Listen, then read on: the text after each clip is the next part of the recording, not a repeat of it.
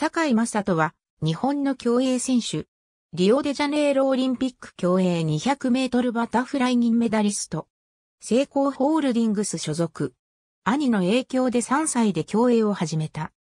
地元の柳川スイミングクラブに高校まで所属。最初は個人メドレーをやっていたが、平泳ぎが遅かったため、コーチにバタフライをやった方がいいと勧められ、小学6年生の時にバタフライに転校。柳川高等学校1年生の時に100メートルバタフライで高校総体優勝。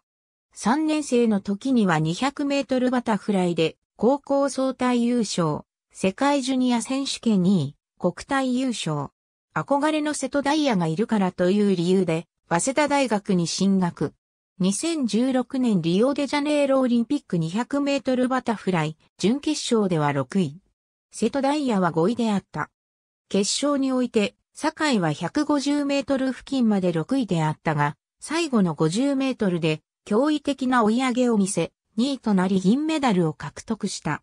金メダルはアメリカのマイケル・フェルプスで、堺との差はわずか0.04秒であった。11月に彩りの国スポーツ功労賞を受賞。専門種目はバタフライ。大きな泳ぎを強みとしている。ありがとうございます。